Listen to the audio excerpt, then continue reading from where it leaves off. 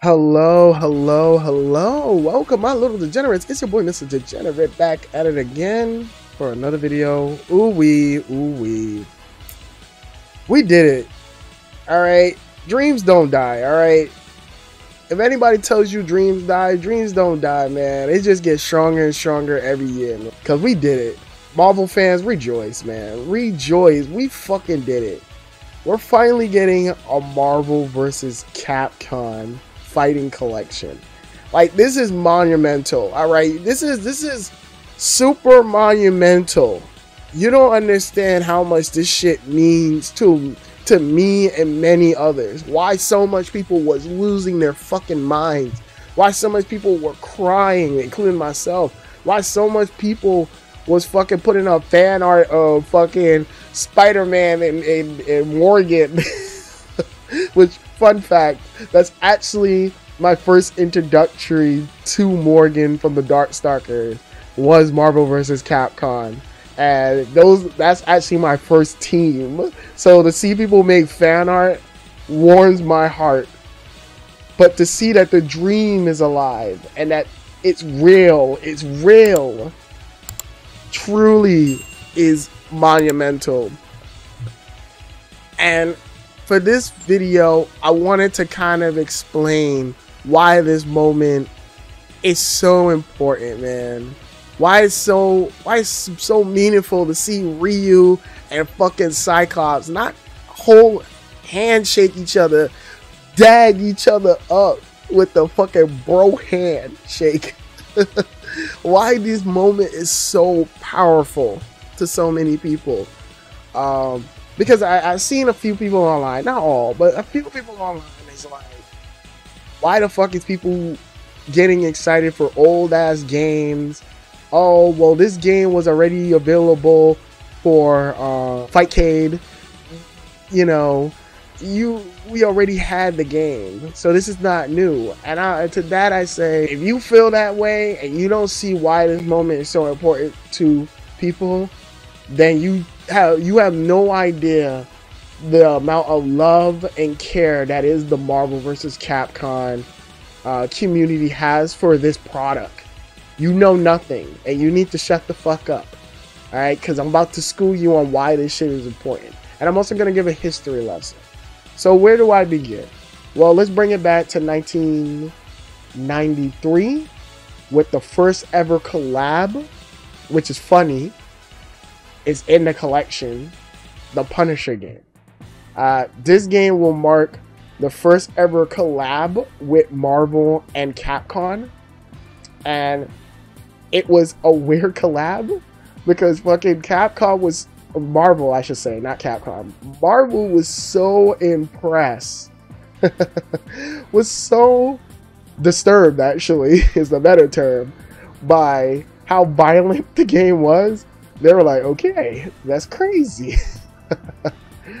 but that was their friendship. That was that was how their partnership had began. And at the time, I want to make this clear that around this time, it was very easy to get the license to a lot of these characters uh, and to do stuff with Marvel license because at the time Marvel was going through bankruptcy and you know, it was very cheap to get any Marvel's license, but that was the first time Marvel had really put their trust in a uh, in a Japanese company, and they actually loved the result despite it being super violent. But even though it fit with Punisher, but there would be one person who brung it together, who who literally led the charge to say, "Hey, let's make a Marvel fighting game. And that would be none other than Katsuya Akitomo. I'm probably butchering that really bad, so I please forgive me. Uh, he was the one that led the charge. He was such a huge fan of Western comic books, like American comic books. He was literally, and this is how dedicated he was to Marvel in particular. He fucking loved Marvel heroes. This man would literally translate every single comic book they had in the office. Every Marvel comic book, he would translate it for his uh, fellow co-workers to read. This is how passionate this motherfucker was to the point where he would he would talk to his bosses, talk to Marvel bosses, and talk to his bosses and say, "We want to make a fighting game. We want to do this. We want to do that." And for some odd reason, both Marvel and Capcom, the execs over at Marvel and the execs over at Capcom, was able to sit down and talk it over just because of this one motherfucker. All right, this Chad was the one that led the charge. Uh, and a lot of y'all probably know him. Any Darkstalkers fan would know him because he was the creator of Darkstalkers, by the way. But yeah, he was he was the Chad. And the first game that they was able to make together was uh, X Men Children of the Atom. That was the first ever Marvel fighting game done by Capcom. And it was a cool ass fucking game. Busted but cool. Then uh, a year later, they were able to get the rights to other Marvel characters, and that was literally a game called Marvel Superheroes, and that was another beat 'em up game that was taking huge inspiration from the Infinity um, Gauntlet storyline. Because around that time, Infinity, Gaunt, uh, Infinity Gauntlet in the comic books was big and popular, but also, the reason why they were able to get the X Men is because around that time, in the 90s, the fucking X Men was banging. We had the 90s X Men show. We we we were fucking banging in terms of comic books. Uh, a few years later on, we would get the the, the X Men movie. The X Men was the shit. So for Marvel, their idea, even though they're getting the IPs with cheap, their idea was we want to outsource our our IPs to Japanese company like Capcom, so it would have a, a, a, Japanese. They would be heading overseas, making money overseas of their IP. And sadly, those games did not do particularly well in Japan because Japan has a very weird, strict thing where if it's not a Japanese developed game in the arcades, they didn't give a fuck about it. If it's American, we don't give a fuck. We don't respect that shit. Fuck that shit. But in the fucking US, fucking Marvel superheroes and fucking Children of Atom with the shit. Everybody fucking loved it. And it gave Capcom enough confidence to be like, okay, let's talk let's talk to Marvel again. Now, what if we get the Street Fighter and the X-Men to fight? And that's when we got X Men versus Street Fighter. And that game was even dope because you had the X Men characters, the most popular X Men characters at the time, and the most popular Street Fighter characters at the time, duking it out. And what was so fascinating because they were like, yo, like, it, it, the X Men are like super bombastic characters that have powers and shit. What can we do to spice this shit up and make it cool?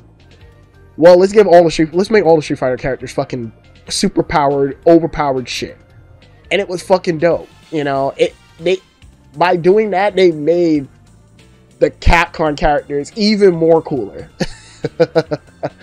by getting on them level.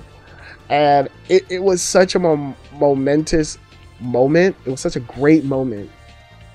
And a lot of that contributing factor on why it started getting more better and better and more popular was because this was the Versus series was the first ever like fighting game from Capcom where they tried to appeal to the casual audience so much by adding in, you know, easy mode, turbo mode for uh, for for hardcore audience, but also like easy controls, just stuff, flashy moves, super jump, all these crazy combative stuff that you see in Marvel vs. Capcom like X Men versus Street Fighter laid that foundation. And it got even more crazier when we got to Marvel versus Capcom. Marvel vs. Capcom added even more. Now you have not only can you switch at any moment in the game for characters, but now you have uh, assist assist attacks, which had cameos from different walks of the Marvel and Capcom license and it was wild. Like Marvel vs. Capcom is, uh, it, was it was peak. It was like you thought it was peak, but you ain't see shit yet. All right, it was so good though. It was so much fun, so colorful, and so just badass. I, I think the only issue that game had, and that was more behind the scenes with getting certain characters like Spider-Man and Venom in particular, because like Spider-Man is such a popular character for Marvel that he was tied into other video games. So it's like working out that license was like crazy.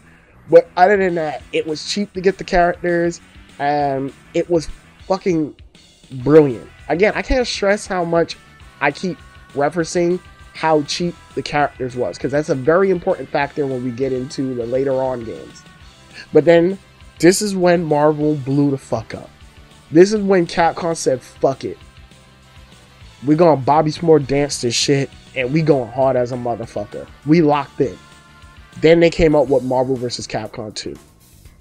And I already talked about what Marvel vs. Capcom 2 meant to me, but this game was the pinnacle of, of fucking fighting games. Up to this day, you can't run to a grocery store, a laundromat, motherfucker, uh, uh, uh, fucking arcade place, anywhere, anywhere that had a Marvel vs. Capcom 2 cabinet. And once you hear Capcom present and not run to the fucking cabinet, all right, get hit by the fucking by a fucking car, and you still move into the fucking um, cabinet just to make your way. Cause Marvel vs. Capcom 2 was peak shit. It had the biggest roster. And yeah, some of them was retreads, like copy and paste. but it didn't fucking matter. Because it had the most smoothest gameplay of all of them. It had 3v3 fighting. You could switch in between. You had they took away the assist, um, the special assist, and then replaced with every character is now an assist character, and every character has three assists. Some is useful, some is um not, and some is situational. Everything. Not only that, the music was fucking banging. I know people like to say the music was uh was trash, which I find I I find that weird hearing that but the music was fire as fuck. All right, we had this jazz tune to it. Obviously, we had the most iconic tune. I wanna take you for a ride. I wanna take you for a ride. I wanna take you for a ride. It, it, it's banging and it gets you prepared for what's to come. The game is just fundamental fun as fuck and easy to play. Anybody could pick up Marvel vs. Capcom 2 and just play their favorite character and start busting ass. But then, when you get it to hardcore motherfuckers, oh my goodness. Seeing that shit played on a high level is fucking dangerous. I don't need to tell you all the crazy and cool moments that either Justin Wong or any other uh, person from the, the fighting community has come up with Marvel vs. Capcom. Marvel vs. Capcom 2's combat system was so peak. Uh, you had the fucking super cancels, which you can cancel one super into then your uh, your other character comes in and do their super into another one of your characters come in and do their super. It was fucking dope. Then if you want, you could just do like some fucking uh, straight out of a comic book where all the characters are using their special move at the same time. You could have done shit like that. It was like peak shit. And again, the roster, if it's not X Men, you had fucking basically any Street Fighter character at the time you could think of. It, it was monumental. This game was peak. Again, I can't explain and how stressed, how much like seeing that game and playing it was back in the day and just seeing the arcade like run of that shit in the in the early 2000s was so peak. That shit was amazing, especially if you were like me, who grew up like in like in the Coney, Coney Island uh, arcade scene around that time. Shout outs to my New Yorkers, they know what the fuck I'm talking about. Marvel vs. Capcom 2 was fucking peak. It was just gameplay was the tightest. Everything about that game was just the tightest. And then that game was also ported to Dreamcast, PS2, Xbox, but of course the best version was the was the I believe was the um, fucking Dreamcast version because that felt like the most arcade version. Everyone else had some broken shit to it, and yeah, the game was just fucking bonkers. Like, yeah, some of the characters are kind of bu- busted, and some characters are better than others, but for the most part, that game was just so accessible for everyone. It was like, it was everything, and it, it felt like Capcom was like, yo, this is probably our last time ever working on this game as a as a team with Marvel. But fuck it, we going hard. And Capcom uh, was allowed to cook because of Marvel. Marvel believed in them, and they cooked, and they cooked fucking well. That being said, after this game came out, there was a lot of travesty. There was a lot of uh, sadness in both sides of the community. And for the cap for Marvel, uh, Marvel at that time was doing even worse than what they were. So it was even bad.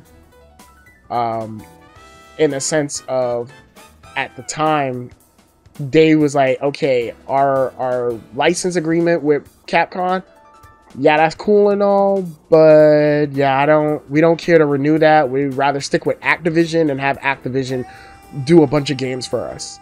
And so at that time, they never re- redid the the license for any of them for them to use the Marvel characters. So we never was able to get re-releases of these games. Uh, and that was the key thing. We were, were not able to get re-releases of Marvel vs. Capcom 2. Marvel vs. Capcom 2 was the most celebrated game because it was just appealing to everybody, but nobody could have could, could get this game.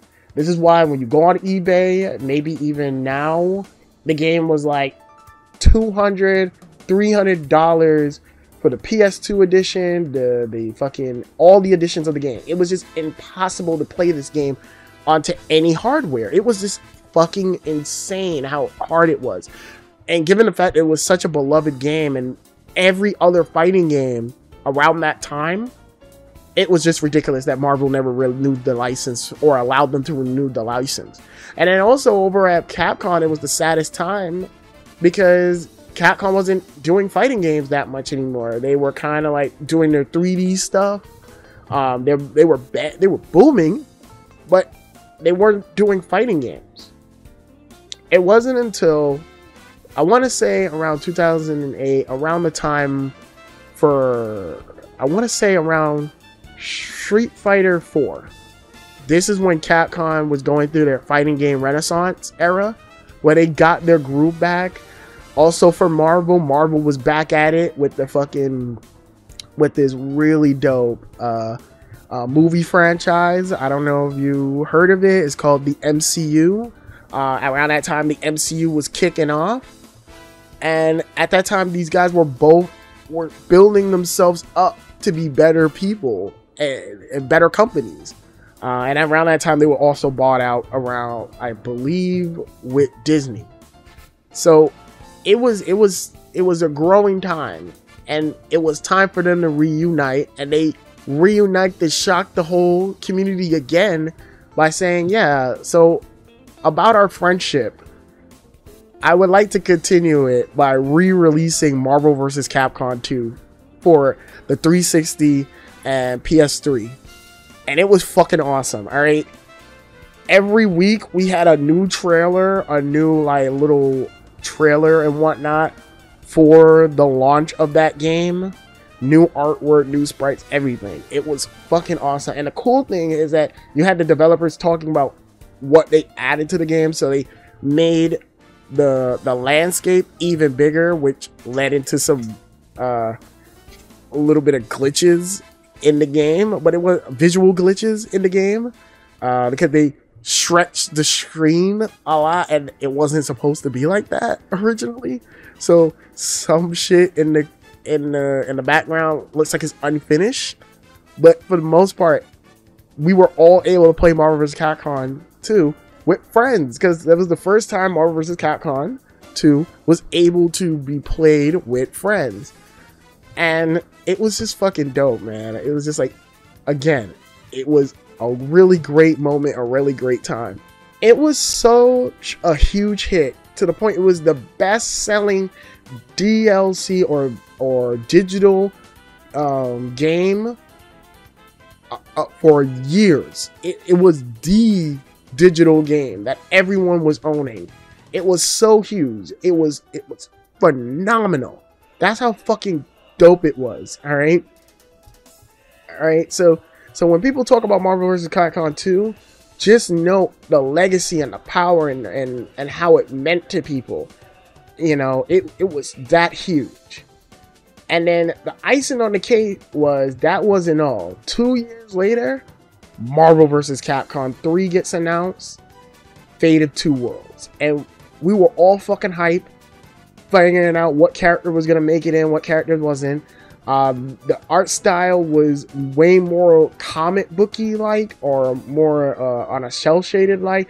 Up to this day, it I still love the art style of Marvel vs. Capcom 2 more, but Marvel vs. Capcom 3 style was really dope. It made it look like characters, the Capcom characters in particular, look like manga characters, and the and the cat and the Marvel characters look like comic book characters, which really felt cool.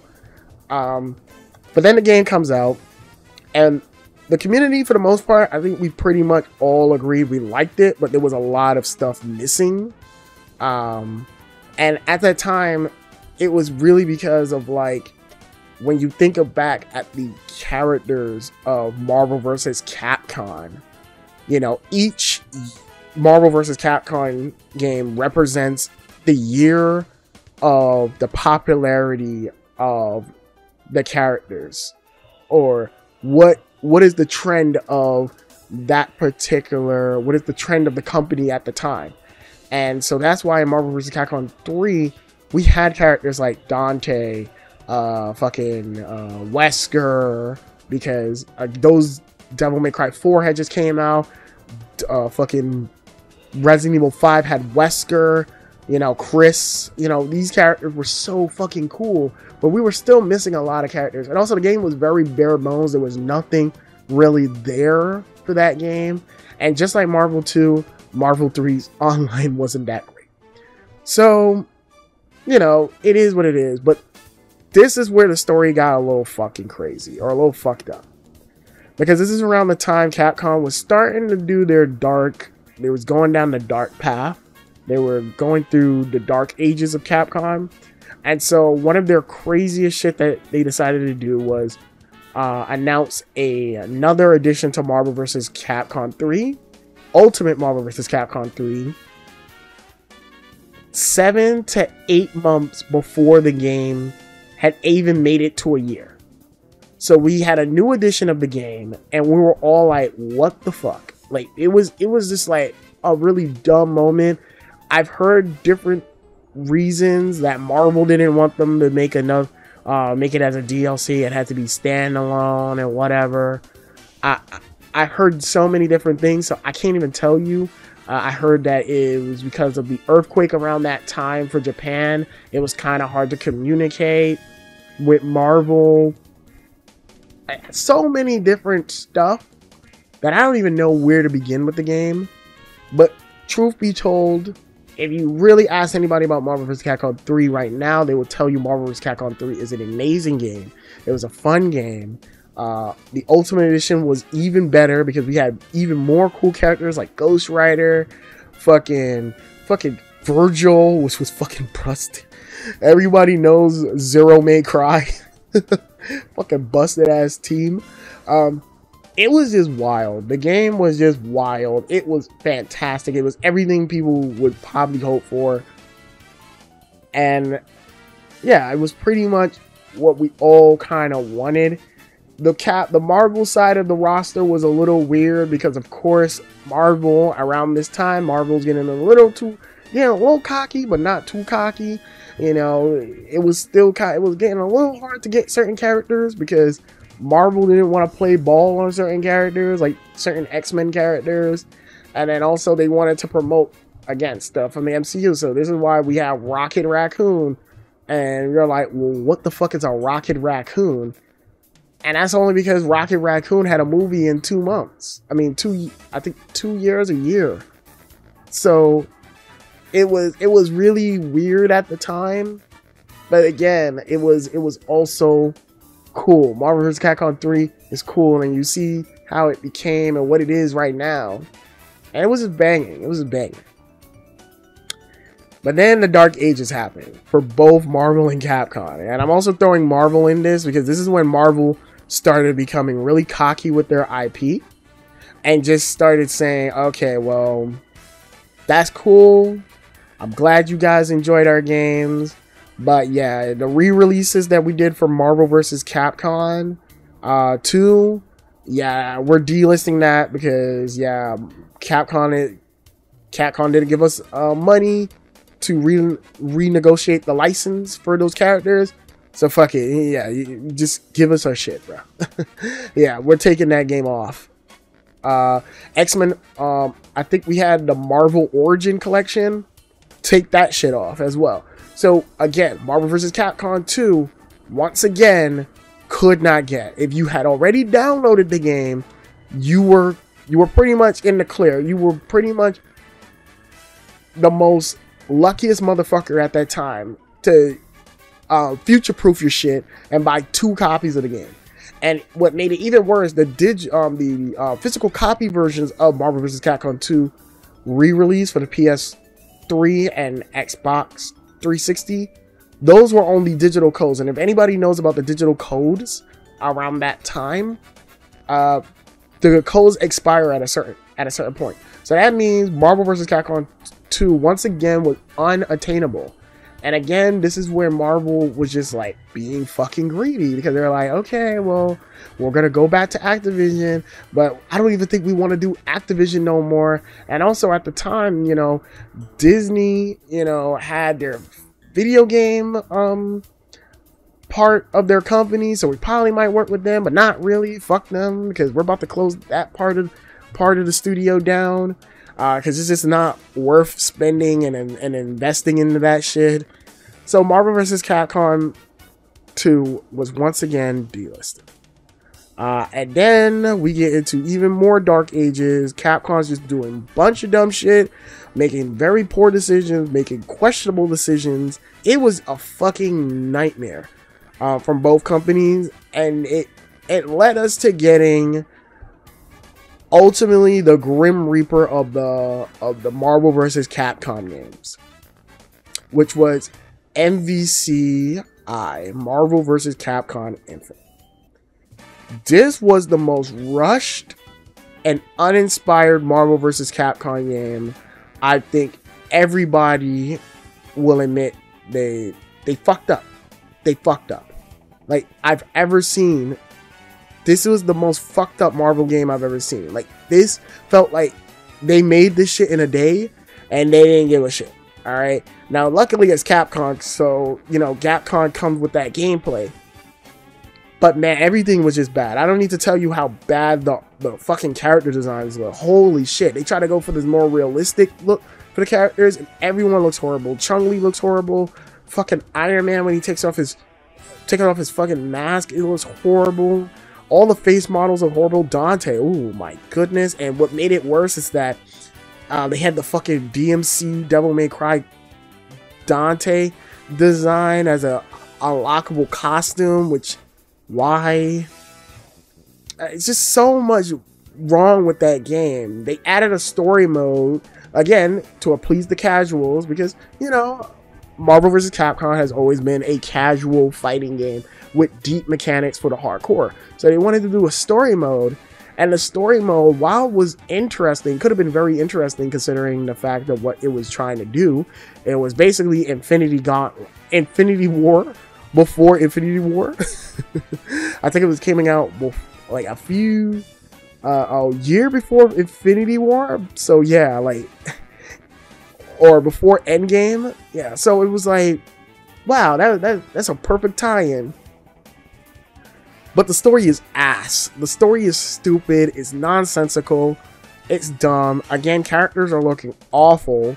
And it was just like really, really horrible. Really, really horrible. And in terms of gameplay, while some may really love the gameplay, I think my greatest issue with the gameplay was was really just how really bad the switching mechanic was.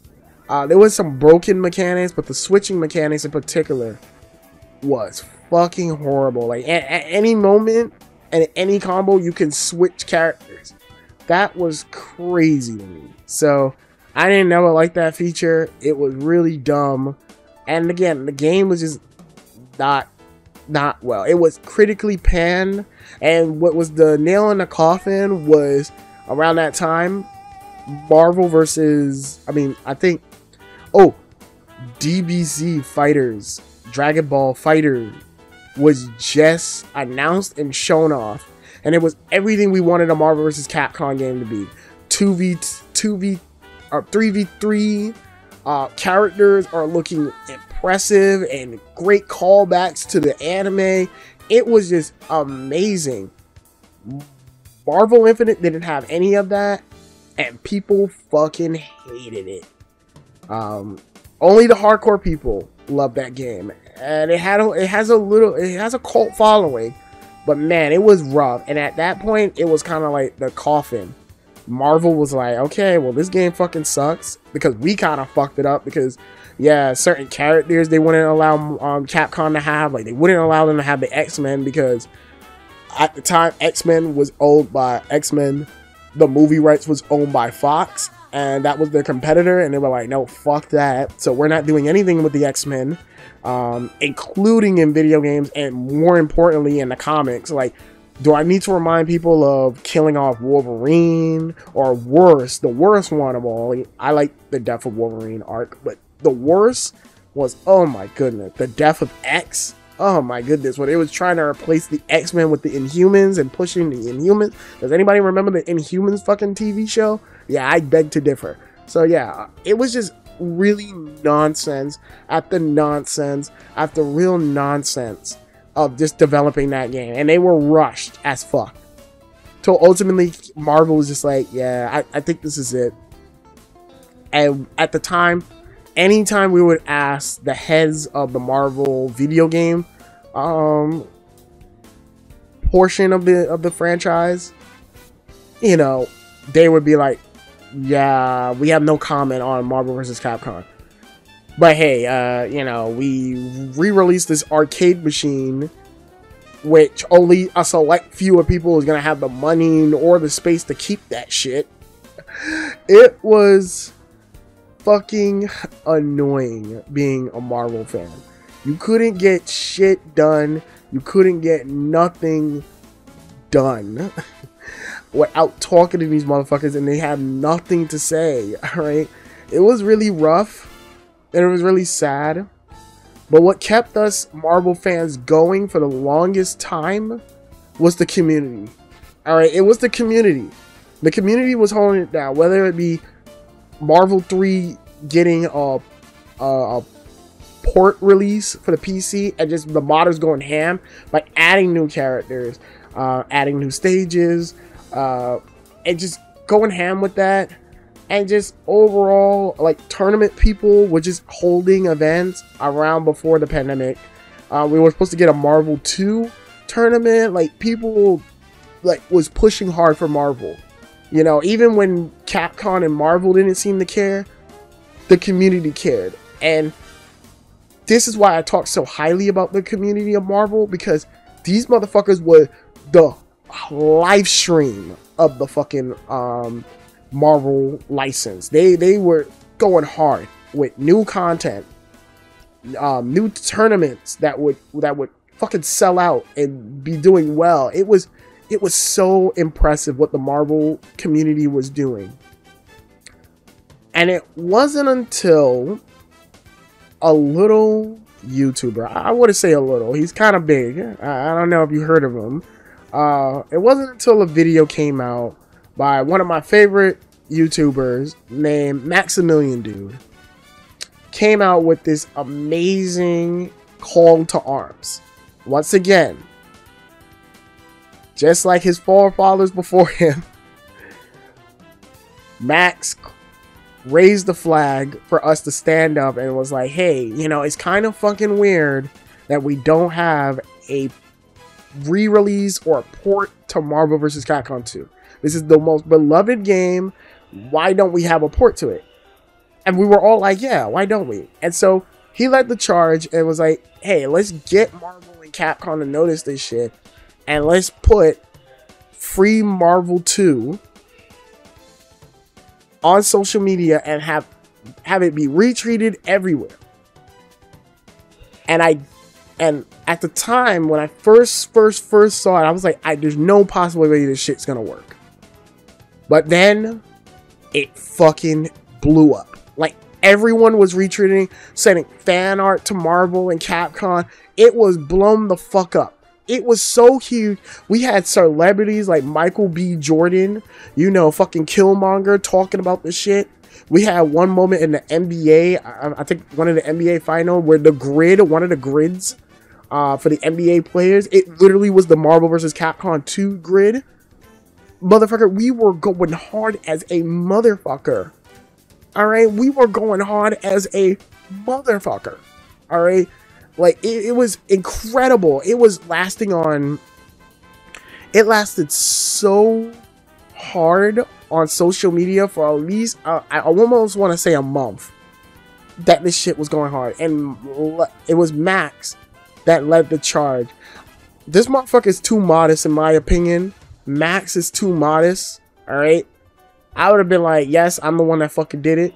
All right, fuck all you guys. But nah, like, genuinely, all thanks to Max, it was let it was it, it was the spark that led us all to fight hard for Marvel. Where people was making videos, including myself, was making videos on why Marvel vs. Capcom 2 is so important to me as you know you know, as a young man who's um, never really trying to get involved with the FGC, you know, to eventually being able to like go and spectate and watch and be comfortable around people. It was all Marvel vs. Capcom 2 that was able to pave that way. And then the and then the hype died down. The the charge was was down but we always, we always would say, at least for me, I would always say Marvel vs. Capcom 2 is going to come back. It's going to come back. We just have to have faith, keep pushing, keep talking about it. And then Nintendo hit us with their direct of June 2024. And then we see the shit says, I'm going to take you on a wild ride. Capcom logo with the Ryu, the old Marvel vs. Capcom Ryu fucking poster. And all of us unanimously fucking lost their minds seeing Marvel vs. Capcom come back. So, if you didn't stick along for this video, and you probably are like, I'm tired of hearing this shit. Get on with it. Why is Marvel vs. Capcom 2 and these games are so important? It's because Marvel vs. Capcom, to me and to many others, is the people's fighting game. This game bridged the gap between casual audience and hardcore fighting game fans to come together and enjoy two different brands coming together to enjoy just a, a single product. It was phenomenal and it's amazing. And at the time, it was unaccessible to everyone. But now that it is back, and with this collection being coming out very soon, now we are able to now embrace and have the dream be fully realize that Marvel is finally fucking back. And this paves the way. I'm not saying it's gonna happen. Because the truth be told, just because we're getting this collection does not mean that Marvel vs. Capcom 4 is gonna happen. So I, I, hate to break it to you. If you think they're working on Marvel vs. Capcom 4 right now, no, we're still going through Street Fighter. I mean, we're going through Street Fighter 6 shit. But it paves the way for the future. And as long as we keep dreaming about this shit, as long as we keep fighting for this shit, motherfucker, eventually, not now, but eventually we'll get Marvel vs. Capcom 4. And when that shit happens, I'll be satisfied. And I could die a happy man. With that being said, I hope you enjoyed the video. If you're new to the channel, please comment and rate all that fun stuff. Let me know what do you think of the uh, of this collection. Uh, what game are you going to be playing off the collection? I'm going straight to Marvel 2. um, and yeah, let me know. Comment below. And as always, stay tuned. It's your boy, Mr. Degenerate, signing out. Have a good one. Peace out.